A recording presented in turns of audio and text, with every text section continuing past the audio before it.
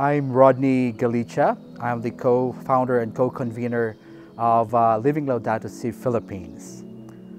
I would like to greet CYNESA in their fifth anniversary and uh, it is an honor for me to know the staff and the executive director of CYNESA and uh, I'm very excited uh, to know that CYNESA is doing good and interesting and amazing work in Africa, uniting the young people, not only the young people, but also collaborating with uh, all generations to actually protect the environment of Africa.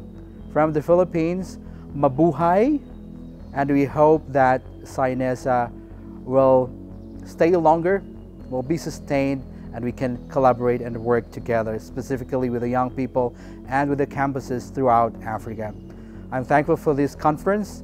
CYNESA organized together with the Dicastery for promoting the integral human development, uh, the Vatican, WWF, and UNEP for actually uniting a lot of people, different faith, communities, indigenous peoples, to actually look deeper into the uh, call to actions of Laudato Si. And we hope that Laudato Si will be brought down to the grassroots so that everyone across all levels of society will act on it.